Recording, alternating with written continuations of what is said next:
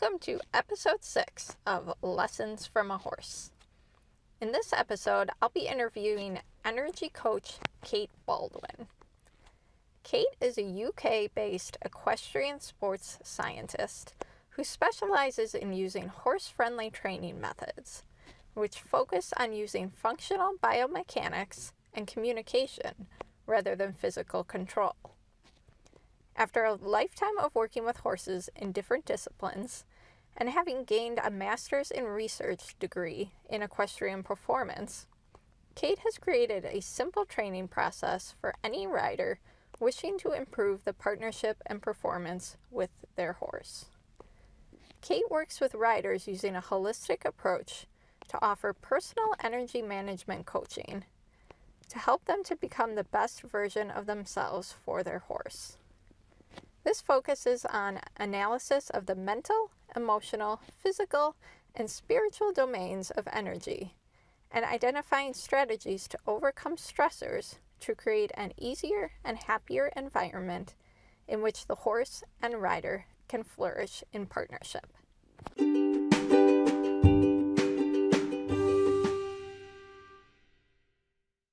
Well, nice to have you here. Thank you so much for joining me. I'm really excited to talk to you. Um, energy oh, no, thank you. Thank you for the opportunity. Yeah, yeah. Um, energy work is something I'm super fascinated with. So I'm really excited to talk with you and learn more about what you're doing and what you're offering. So really cool stuff. Um, so we can go ahead and get right into it then. Um, Brilliant. So why don't you start by just telling us a little bit about yourself, kind of your background, how you got started with horses and how you got into the energy work and that kind of thing. Um, okay, well, I mean, I'm I'm obviously from the UK. Um, I live in I currently live in South Wales in the UK. Um, I've lived in various different places around the UK, and I've kind of worked worked in a number of different locations. Um, but I've always worked with horses in various different disciplines. Um, it was never really an active choice that I was going to kind of end up working for horses. It just kind of happened. Um, I, I mean, I always had horses very, from a very young age when I was a child, even though my parents weren't particularly into horses. Okay. Um, I I mean, as I was growing up, my grandmother had a farm. So we always had ponies available there. And I spent the majority of my childhood just kind of going out, playing around in the fields, playing with ponies, playing with animals, like whatever animals were on the farm, nice. and just having a bit of a bit of a lovely time, really. Awesome. Um, so when I left school, I wasn't really sure what to do, but I knew that I loved horses. And at that point in time, um, equine colleges were just beginning to get quite big over here. Okay. So, for want of anything better to do, I thought I'd go to college for a couple of years to an equine college. Um, so I had a lovely, lovely few years. I think three years I was at equine college for. And then the progression from that was to go into the industry and actually get a job working with horses. Um, so from there on i kind of i did various different jobs working as a groom working as a rider so very kind of hands-on with horses. Um, i worked in dressage to begin with then i moved on to a yard that was um, it was a lot of uh, bringing young horses on dealing with hunting horses so getting them fit and taking them hunting um, and also producing horses for point to point racing. So that was really, really good fun. Loads of riding. I loved yeah, it. Yeah, yeah. Um, so it kind of it progressed from there. I I kind of then went into more yard management types of roles, um, becoming you know head grooms, yard managers of various different places. Um, one of my later jobs, I actually worked on an Olympic dressage yard, and I was a head girl there for a short time. Um, I mean, absolutely amazing experience. It was fabulous, and they were fabulous people to work for. Um, however, for me, it wasn't what I wanted to do. You know, I enjoyed being, um, you know, I mean, being around horses that were kind of so fantastically well bred and so highly produced was just phenomenal. Yeah, yeah. Um, but I mean, for me, I it, it wasn't a riding position, and for me, I love riding, and that is kind of what fuels me. Um, so I moved on from there to um, to another position then that um, that involved a lot more riding and kind of practical producing of Okay. horses and Uh-huh. that kind of thing. Um, from there, I mean, I freelanced for quite a while, for a number of years, um, and then ended up in showing. Um, I don't know if you guys have a big kind of showing community in the US. We do. Um, yeah. Mhm. Yeah, okay. Yeah, yeah. Uh-huh. I mean, It's, it's, a little. I know it's a little different than over in Europe, but we do have um, a big, big showing community. Yeah. Um, I myself actually don't do a lot of showing, um, but it's definitely around. Yeah. Okay. Yeah, well, I mean, it's it's quite big over here. It's very popular. Um, and I ended up working for a big show producer um, as their main rider. So we had anything from about 30 to 40 horses in training, Well, um, producing them for different clients. We had a lot of very difficult horses and a lot of incredibly beautiful horses. Um, and we had a fabulous time going to all the different shows, going to the big shows, you know, kind of spending a week at the Royal International Horse Show and then another week at Horse of the Year show, then at the end of the season, which was kind of um, the end of the competitive season. Then we'd have a little bit of a break and then we'd start again kind of after Christmas, producing the youngsters and bringing them out again. Um, so it was fabulous and I loved it. Um, but however, I did have a few nasty falls and quite a few nasty broken bones, mm. um, which kind of comes, yeah. comes with it a little bit, Yeah. unfortunately. Um, so at that point, I mean, I had the one injury where I thought, you know, I need to rethink things here because Mm. I'd, I'd been badly injured enough that I needed to take about six months off to recover properly. Okay. Uh-huh. Um, so at that point, I thought, right, okay, I need to do something different. And I need to do something that I can maybe do for a longer period of time as I get Yeah. older. yeah, more sustainable. Yeah. Yeah, a little bit Yeah. more sustainable. yeah. Um, so at that point, I decided to go back to university and get my degree, which was a huge change in lifestyle. Um, so I spent I spent three years then studying for my undergraduate degree, and alongside that, I was also freelancing as a rider and as a coach. Um, predominantly in dressage, also training a little bit with show riders as well, helping them out. Um, so I had three years studying, which was incredibly hard work. Um, but it, it was fantastic having worked for so long because I think I probably worked in the industry for about about 13 14 years i think before i went Uh-huh. back to university so i'd had a Yeah. lot of experience in a lot Yeah, of yeah. different disciplines then going back to university and learning a lot more in depth about the theory behind things so you know equine physiology and you know all the science side of everything Yeah. um, the nutrition as well i'm really big into nutrition i love that side of it Okay. um, but what really, really got to me was the horse and rider performance and looking at all different aspects of horse and rider performance. Um, so I um, I did I did my research into back pain in riders, Okay. um, and that produced a research paper which was then presented at the ISES conference, the International Society Okay. for Equitation Science yeah. Yeah. um, so that was that was that was pretty phenomenal actually researching the levels of pain that riders are actually experiencing on a daily basis Mm. and talking to them about about the kind of effects that that has on them in their Okay. day-to-day life Sure. Yeah. um, you know some really some pretty some pretty big things that were going on that people were then saying, you know, this is actually affecting my horse. Yeah, yeah. Um, I know. So that, um, I I went through a period of dealing with back pain myself, and I can definitely relate. And I know that can certainly have an effect on your horse and even your life outside of horses and everything. So I can appreciate that. Yeah. Absolutely. Yeah, I think it kind of it comes comes with it a little bit, doesn't it? Um, but I mean, particularly, you know, all of these riders that were saying that they were getting injured and they weren't actually doing anything about getting better. So they weren't mm. giving themselves any time for recovery. Mm-hmm. Um, you know, and as a consequence, then they were they were struggling then in later life yeah, with the aftereffects yeah. of these injuries.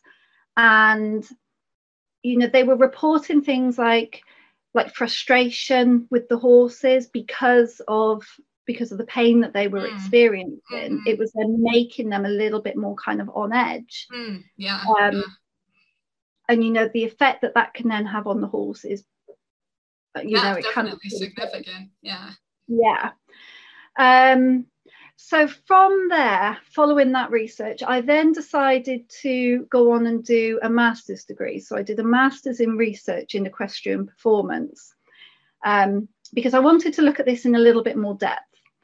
And at this point, I was then introduced to the concept of personal energy management by a professor that had, um, that had joined the university at that point.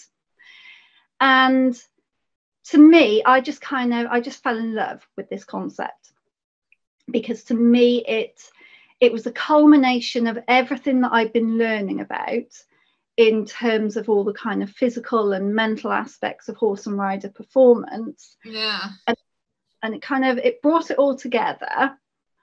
And then from there, riders actually then had a way forward to try and improve their quality of lives and therefore the quality of their life with the horse as well. Um, yeah, definitely. And you know, as well as I mean, with the competition aspect mm-hmm. as well. Okay, yeah. Um, which I mean, this this is a kind of thing that over here, I mean, you guys probably do it in the US as well with your um, with your Olympic riders.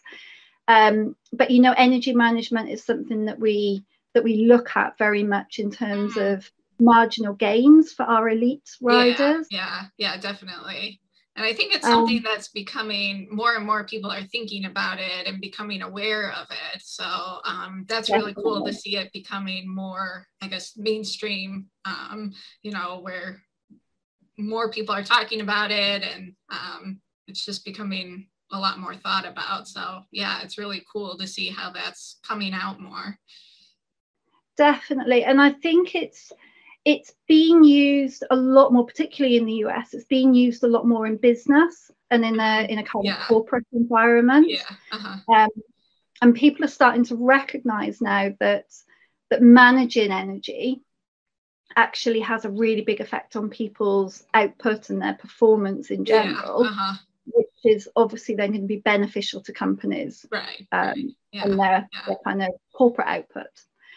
Um, so yeah i kind of I, I, did a big research project then in terms of looking into personal energy management in dressage riders. Um, and not very surprisingly i found that nobody that i interviewed and worked with during the course of this research project even gave the slightest thought to their energy levels and how they okay. would go about managing it. Interesting yeah and it yeah, has such yeah. an effect on our horses too. Yeah. Absolutely. But you know, it just it doesn't even occur to them. They just yeah. kind of they seem to accept that they are continually exhausted, both physically and yeah. mentally. Yeah, yeah. Um, and they know that this has an effect on them and uh-huh. an effect on their horse, but they don't actually know how to go about improving it. Yeah, right, right. They're just kind of stuck in, like you said, exhausted all the time and not really knowing how to change things. Yeah. Uh-huh. Absolutely, absolutely. I've um, been there too. I think we've all been there, and I think it is. You know, it's it's not something that you ever kind of become an expert at, or you mm-hmm. kind of you do these kind of things and then it just fixes your life. I think it's a continual thing. Oh, definitely. Um, definitely. But I mean, I I was working predominantly with competitive riders because obviously, you know, thinking about the way that you're managing your energy can have this huge effect on the horse and a huge effect on your actual performance in competition.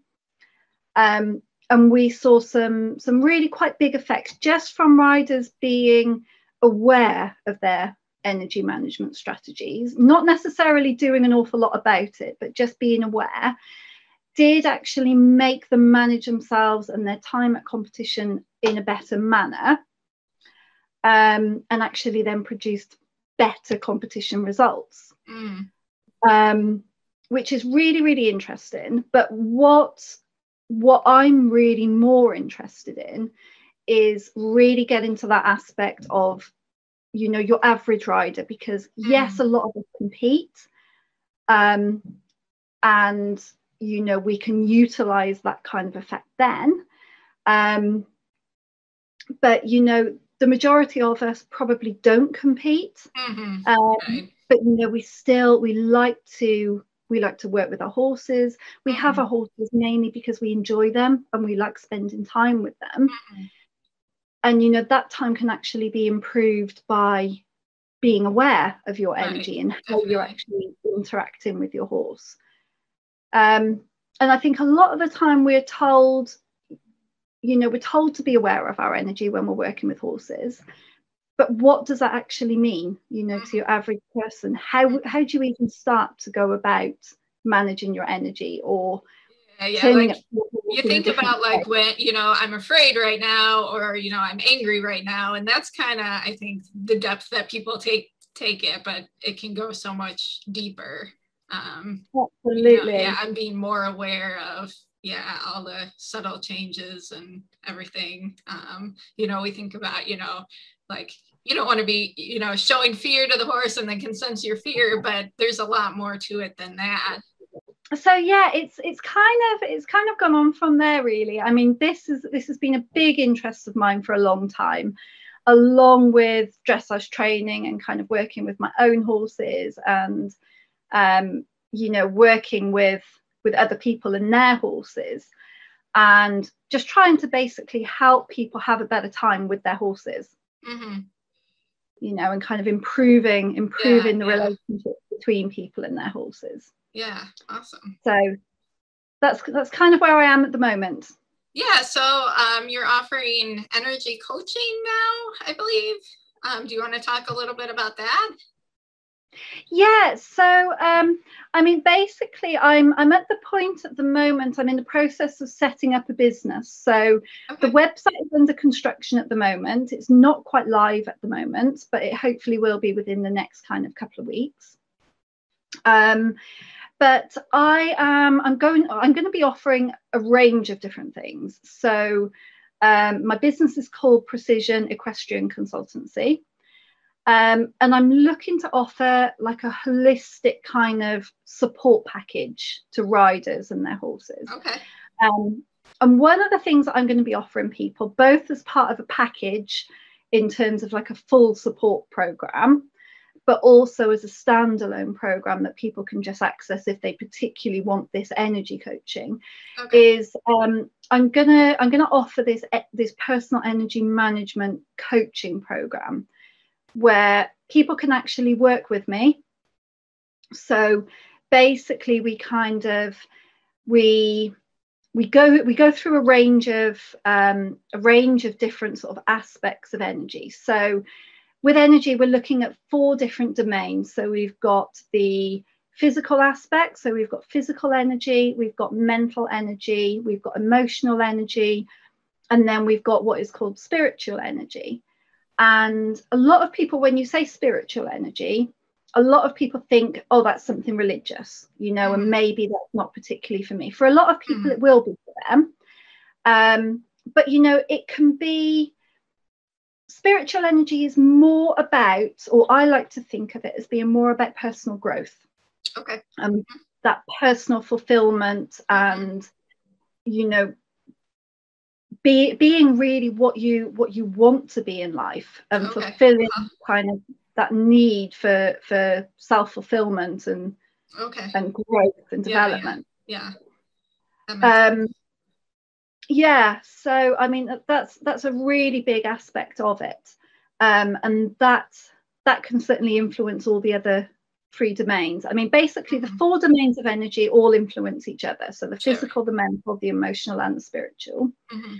um and what i do i break it down into different sections so i work with riders first of all i get them to do an energy audit um, so I think it's quite important as well to say, before I go any further, to say what this is not, before I then go on to what this yeah. is. So it's not counselling, it's not therapy. Okay. Okay. Uh-huh. So, you know, I'm not a psychologist, Yeah, I'm yeah. not, I'm not kind of offering therapy sessions or anything Mhm. like that to people. What I'm offering is solutions and strategies. So I'm Okay. working with the client.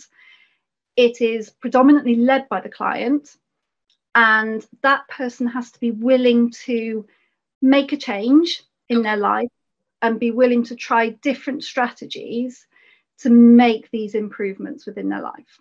Mhm. And, you know, not everything is going to work for everybody, Mhm. but I work very closely with the individual to try and find the thing that actually works for them. Um, so, you know, I, I have a rule I will only coach people who feel that they are ready for that coaching and who are willing to actually attempt different things to make a Mhm. change Sure. um, you know otherwise you know what i don't want this to be is people who kind of just want to talk about their problems Mhm. and then maybe give something a little bit of a go half-heartedly Mhm. you know because that is not going to work Mhm. so you know people have got to be willing and ready to start making changes and Yeah. give different things a go otherwise you know it's not going to work for them it's not going to work for me you know they're going to turn around and give me bad reviews and say oh well you know i tried that it Yeah, didn't yeah. work Uh-huh. you know But really, they So- didn't try it. Yeah. Yeah. absolutely absolutely so um you know it's it's got to be it's got to be client led Yeah. basically Okay. Okay. And so what I do, I get them to complete an energy audit where we kind of look at the different domains of their life, so the four different energetic domains, Okay. and they make an individual assessment of where they are actually feeling they are at that moment.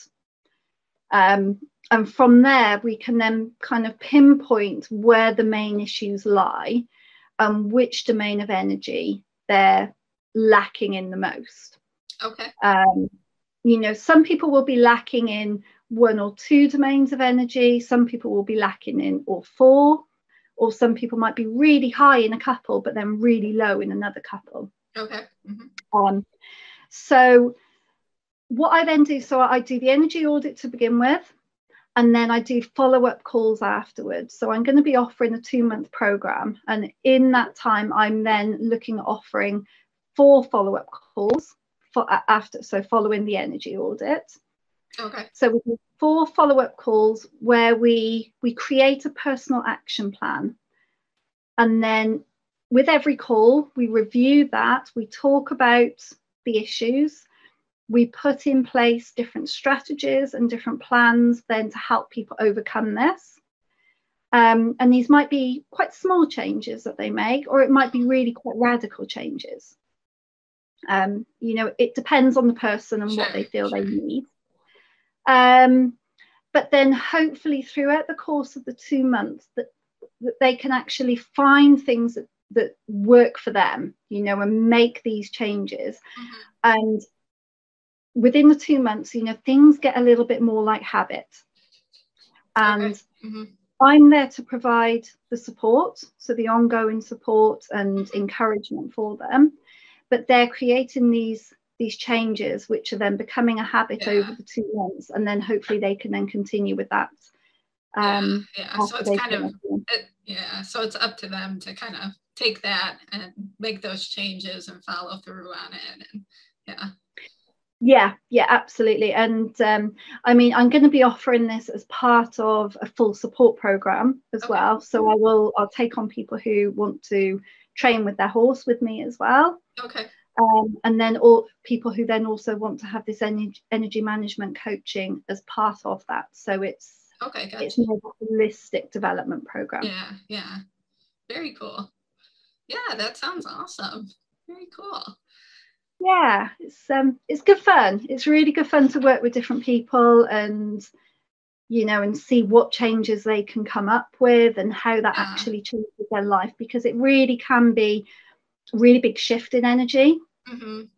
um you know particularly where people are actually you know they're doing something just because that's what they do mm-hmm. um you know they don't really know why they do it it's paying the bills mm-hmm, mm-hmm. but you know they're not really particularly enjoying it mm-hmm. and you know you can kind of you can turn that around with people so that they are they're then doing something which is a lot more fulfilling to them mm.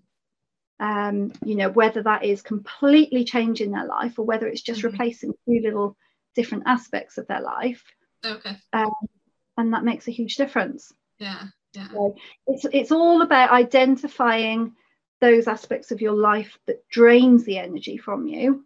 Okay. And then putting little things in place that's going to change that and boost your energy and you know give you a different kind of outlook and a different way of life that you can then sustain going forwards. Okay. Very cool. Hopefully very that cool. makes sense.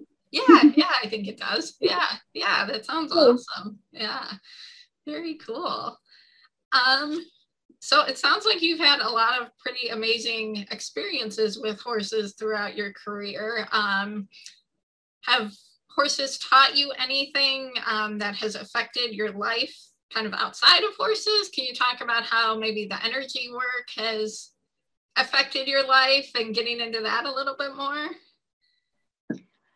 Oh, I think I think around horses is is a continual learning experience and i think sure. the more that i the more that i learn and the more i become aware of the more i realize there is so much more to learn yes yes um, you know and and very very often it's a case of you know you just you completely throw your previous ideas out the window because mm. you've just learned something brand new that you've never yeah. heard of before yeah then it just totally turns it around. And you think well everything that i've believed in all these years actually now complete and utter load of rubbish. And you know this is the way i should be doing it. Mm-hmm, mm-hmm. um so i think horses have definitely taught me to keep an open mind.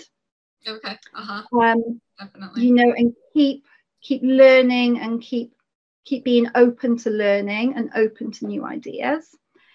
Um I think also the other thing that I've very much learned is that everybody has their own struggles.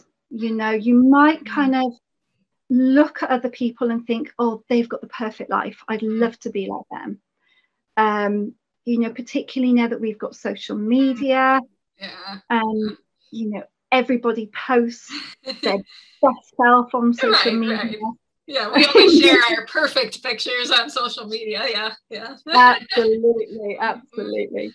You know, but underneath it, you know, everybody is everybody's just the same you know everybody has their own struggles yeah, and yeah. you know everyone is just trying to do their best and i think horses are very very good for just kind of just teaching you to be present mm-hmm. and mm-hmm you know just being being very aware um you know and and that awareness of not being perfect and yeah, yeah. you know not expecting other people to be perfect as well you know we all make mistakes mm-hmm. we're all just kind of trying to get along mm-hmm. um you know and i think in general we I mean, hopefully, most people are quite accepting of horses making mistakes. Mm-hmm. Um, I know that's certainly something that I'm trying to be very kind of mindful about at the mm-hmm. moment. Mm-hmm. Um, but then I think when it comes to other people, we're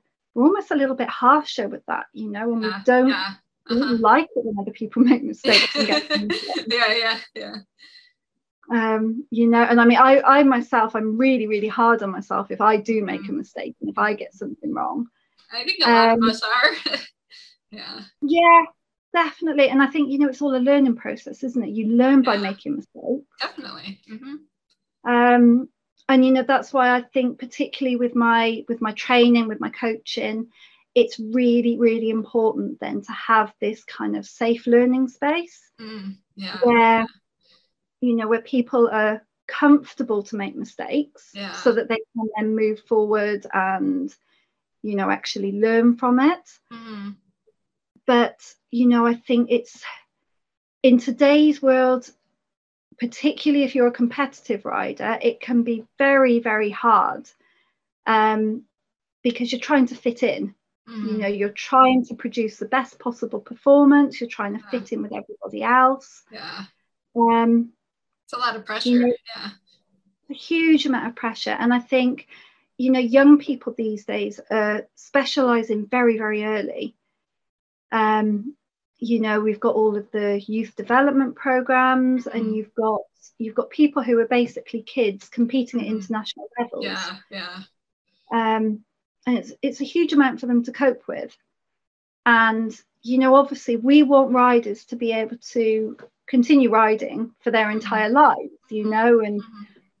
and always be around horses and enjoying that but i do think that amount of pressure when when people are so young can have that negative effect so i think mm. it's it's really really important that everybody who's involved in training horses and riders is very aware of kind of you know just just being aware of that pressure mm-hmm.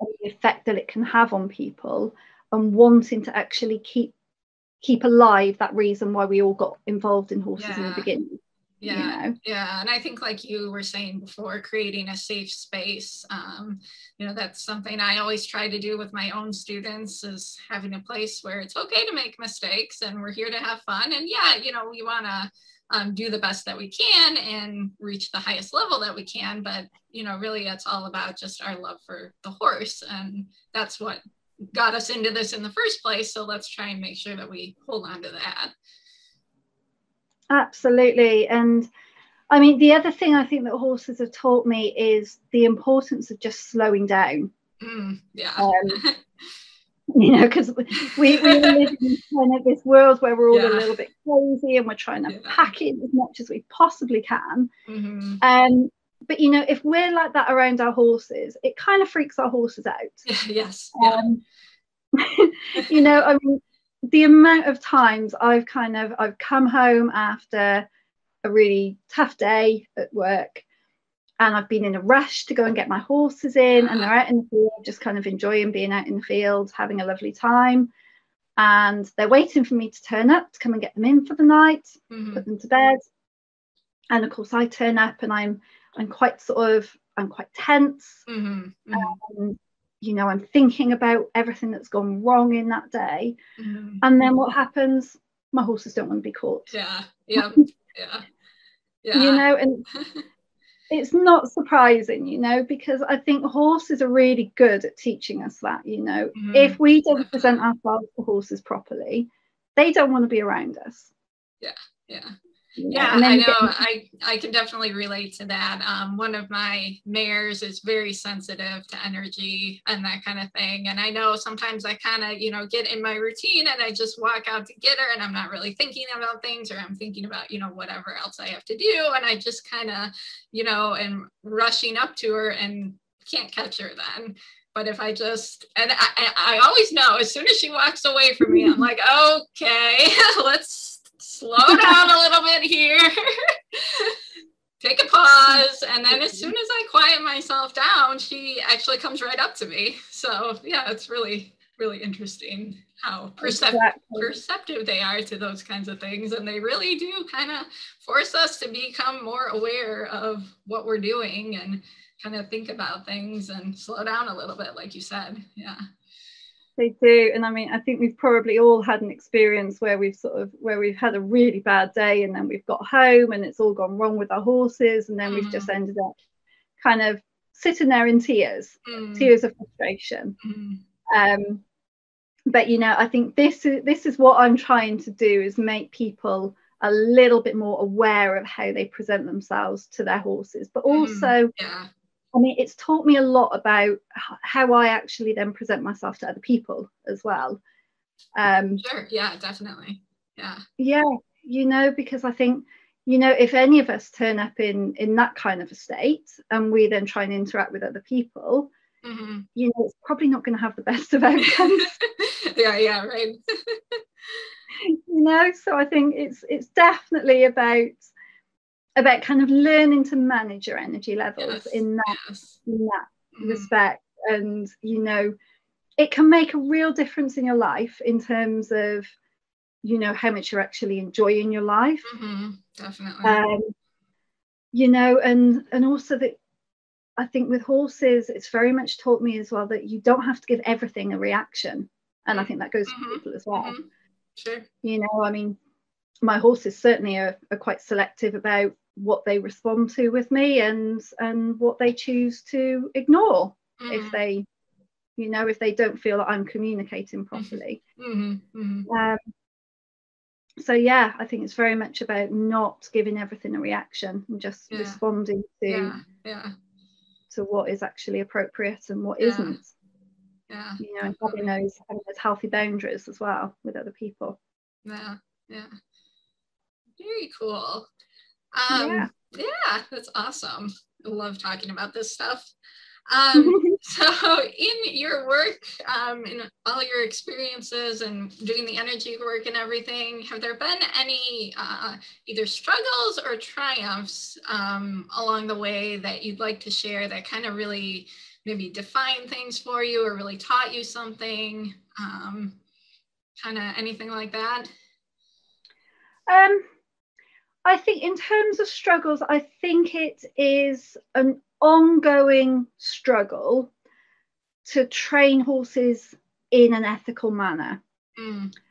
And and to be that kind of that robust example mm-hmm. against the popular demand mm. of you know rushing horses through training yeah. and through performance mm-hmm. for profit and mm-hmm you know don't get me wrong i've i've been there you know i've worked mm. in that industry for many many years and i've produced competition horses for many years um, but for me personally i think there is a better way mm-hmm. and i'm now i'm not interested in producing horses for you know for sale and mm. for competition and i mean i've I've competed a lot myself previously. Um, I competed in dressage for quite a number of years and I represented Wales on the Wales team for a couple of years in the senior home international competition that we have here. Um, and don't get me wrong, I loved it. I absolutely yeah, loved yeah. Uh-huh, uh-huh.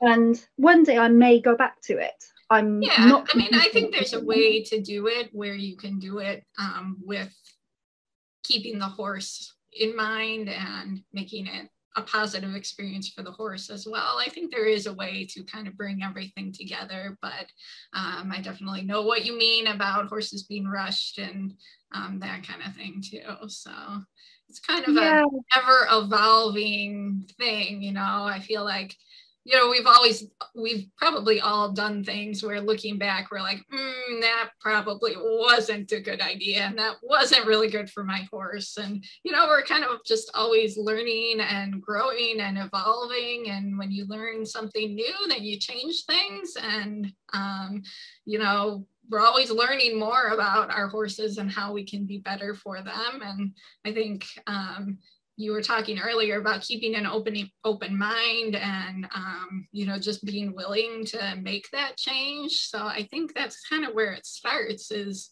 um, just always learning more and trying to figure out how we can be better for our horses and um, you know, making those changes when we need to. And I think more and more people are starting to do that. So um, I'm hoping that that kind of works its way into competition a little bit more. But yeah, I can definitely relate to what you're saying. Yeah, and I think it's you know there there can be a very big divide between people that are for competition and then people that are deadly against it mm-hmm. and mm-hmm. you know i wouldn't be either one or the other i mean i love mm-hmm. competing mm-hmm. and i love watching competitions um you know and i think there are some excellent people who compete and mm-hmm. there are some excellent people who don't compete mm-hmm. and then the same the same also applies to the people who are not so good who also right, right. compete and those who don't yeah. um, you know so i don't think it's necessarily about, about the competition mm-hmm. um, but i think it's kind of it's a very modern way now of you know it's all about money isn't mm-hmm. it you know yeah. producing yeah. horses mm-hmm. as quickly as we possibly can to mm-hmm. sell them on and make the maximum amount of money mm-hmm. um, but I mean, picking up on what you said a moment ago about, you know, we've probably all done things that we maybe shouldn't have done, but at the time, you know, we kind of we didn't know any better. Yeah, yeah. And I mean, I I listened to I listened to a podcast. I can't think who it was who was hosting the podcast, but it was with Leslie Desmond. I don't know if you've okay. come across uh-huh. Leslie Desmond. Yeah, yeah. Um, and she said one thing that really, really stuck with me. And, you know, she said, We've all been there and we've all done things that we probably shouldn't have done in the training of our mm-hmm. horses. Mm-hmm. But at that moment in time, we didn't know any better. We were mm-hmm. doing what we were led to believe was the correct thing. And that actually we should be letting ourselves off the hook mm. because we were actually just being a good student at that time and okay it may have been a it may have been a poor choice but that was what we were led to believe at the time was the right thing to do yeah yeah um you know and that that really kind of stuck with me um and you know like i say we're all we're all learning all the time mm-hmm. you know i think it's it's the people who are trying to kind of show others that are that there is a different way to train horses mm-hmm. i think those people are really really important in today's world because although yes there are a lot of people who do want to compete and do want to make a lot of money out of horses and that's fine that's their thing. Um, equally there are a huge amount of people who just want to enjoy their horses. Mm. um, you know and they need a way of training that is appropriate to them. So yeah. you know i mean i think for those of us that are trying to show a different way of training horses it is that that kind of that continual struggle to be a robust example against popular demand mm-hmm. um you know and having that having that kind of ethical ability and bravery to stand up and say, hey, you know, this is what I do, this is what I believe in. Mm. And I know it's not for everyone. Yeah. Um, but you know, I'm here to help people yeah, if yeah. they want help. Uh-huh. Yeah, I think that's that's kind of when you talk about struggles and triumphs, I think that is a yeah a continual struggle. Yeah, yeah. Um, but also a triumph too when you do reach those people and are able to show people a better way, right? Absolutely, absolutely. And I mean it's certainly a triumph then when you when you get to help the people and horses. Mm-hmm. And you know, for me, having I mean I've I've got one horse now who he's quite an old boy, um, but he's my ex-competition horse. And okay we never competed to a very high level because we weren't very good. Um, but you know i mean he's he's 23 now. He's been with me pretty much the majority of his life. Um, you know and he's been through competition work with me mm. and we're now training in a different manner mm. and have been for a number of, number of years now mm-hmm. Mm-hmm. so you know it's really rewarding to see that change in him and yeah yeah and be able to kind of give him that experience yeah. as well yeah and show him that you know it's all, it's not all about putting a huge amount of pressure on him. Yeah, yeah, definitely. Um, you know, and I think I think there's a lot of really really good work going on in the world now um, in terms of looking at equine behaviour. Mm-hmm. Um, I think there's a lot of new things that are coming out that we've never really kind of paid a lot of attention to previously. And I think there are certainly a lot of lessons that can be learnt from, from listening to that mm. and incorporating some of these aspects into how we manage our horses and how we train our horses. Um, and I mean, I'm just, I'm, I'm eternally grateful for all the horses that I've ever trained. I think they have been my, my, my biggest teachers yeah, in life. Yeah. You know, every single horse is different. We all know that what works yeah. for one horse won't work for another. Um, so you know, you are you are constantly kind of evolving with your training and the way that you interact with your horses. You know, and trying to find ways that definitely that for, yeah. for different horses. So, yeah, you know, I think it's just it's being it's about being very very brave and and being being brave to kind of live up to that integrity in your training. Yeah, sure. Yeah, yeah, definitely. Very cool. Well, is there anything else you'd like to share with us?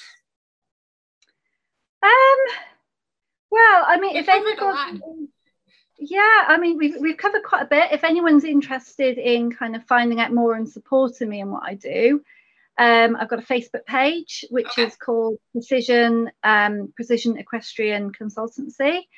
Um, like I say, it's all very new. I'm just kind of setting this up at the moment. Um, but yeah, anybody who wants to kind of follow awesome. me and support yeah, me. and I will put a link Amazing. for that in the uh, notes for this podcast. So if you're listening, you can go ahead and check out the notes and find a link for um, Kate's Facebook page. So awesome, cool. Well then, um, to wrap us up here, I've got a few more questions for you. Um, and these I just want a quick answer. First thing that comes off the top of your mind. Um, you don't have to put a lot of thought into it. These are just for fun. Um, okay. all right. So here we go. What is one thing you've learned recently? And it can be about horses or anything. One thing I've learned recently. Um, one thing I learned recently, something which I which really made me kind of sit up and listen the other day, which I think it was something that Karen Rolfe said on Dressage mm. Naturally. Mm-hmm. Um, she said that as people we may train many horses in our lifetime. Our horse has one life, mm. you know, and one opportunity to be trained by by us. Mm. So it's our responsibility to make that horse's life as comfortable and engaging as we possibly can. Mm. So, yeah, cool. yeah, that's something yeah. new that I've learned. Different way of thinking about things. Yeah, absolutely. Yeah, that's really, yeah. really interesting. Yeah, awesome. All right, share a favorite horse memory. Share, oh, share a favorite horse memory. I know there's probably a lot to pick from. yeah, there are so many, so many. Um, I mean, I think probably the most recent that springs to mind is I've been taking advantage of the fabulous weather that we've had in springtime here at the moment. And I've just been spending a little bit of downtime and going out in the woods with my with my old horse and just enjoying being kind of out and in the sun and out in the nice. woods, just relaxing and that enjoying. wonderful. yeah, so I think that that's my most recent favorite memory. Awesome. Yeah.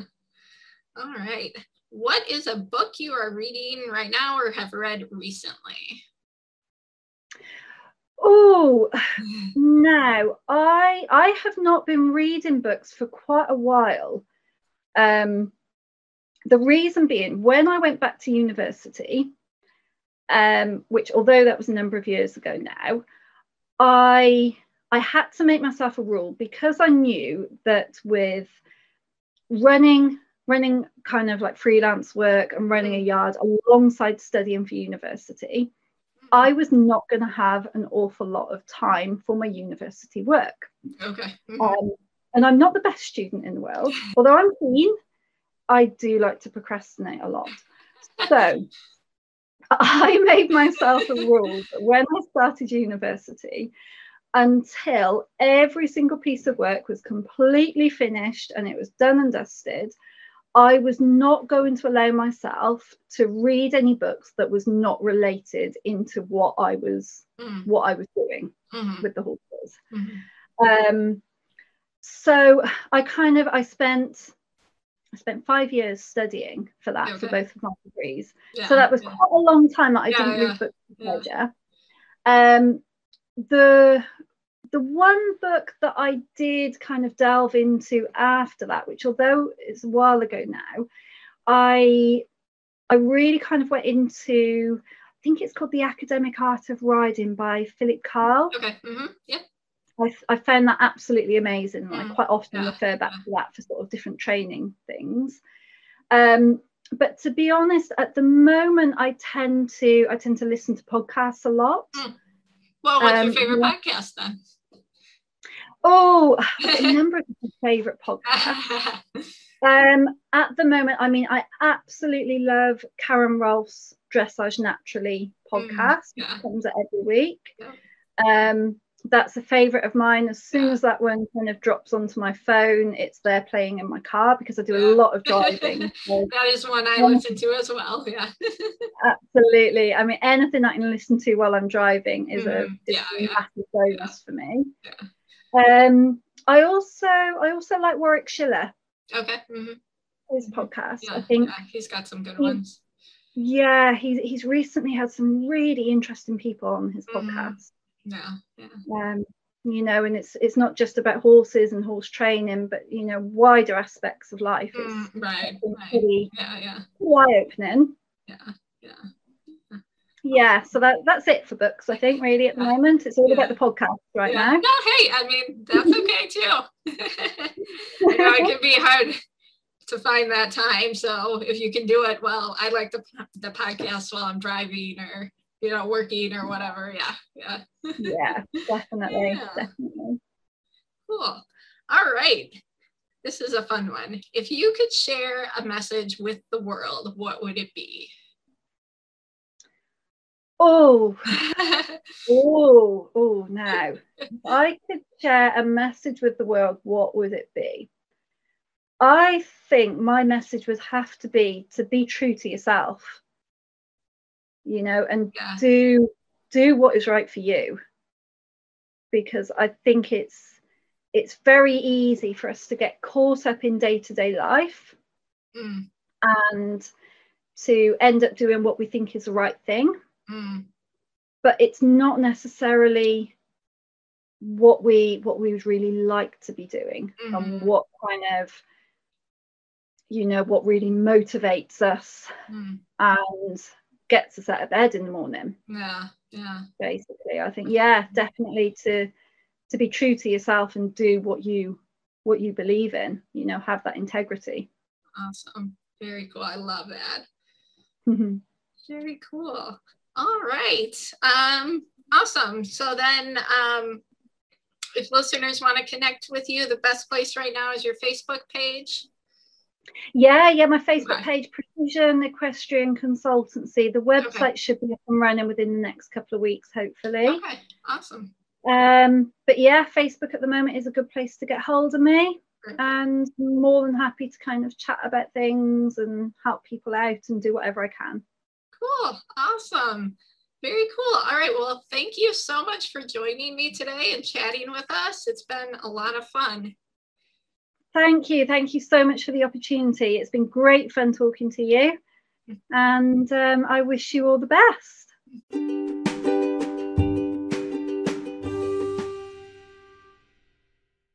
Thank you for joining me today. I'd love it if you'd share your thoughts on this podcast in the comments. I always enjoy hearing from our listeners. If you enjoyed this podcast, please consider leaving a review and sharing with your friends. If you're interested in connecting with Kate, make sure to check out her Facebook group, Precision Equestrian Consultancy. and I'll put a link for that in the notes. If you want to learn more about developing a better partnership with your horse, you can check out our website, tuskeydressage.com, or search for Tuskey Dressage on Facebook, Instagram, or YouTube. And you can also sign up for our virtual classroom on Patreon at patreon.com backslash Tuskey Dressage. And lastly, if you are looking to go even deeper into the lessons our horses have for us, you can check out my book, God's Heart Through a Horse's Eyes, available on Amazon and Amazon Kindle. Thanks again for joining me on Lessons from a Horse, and I'll see you next time.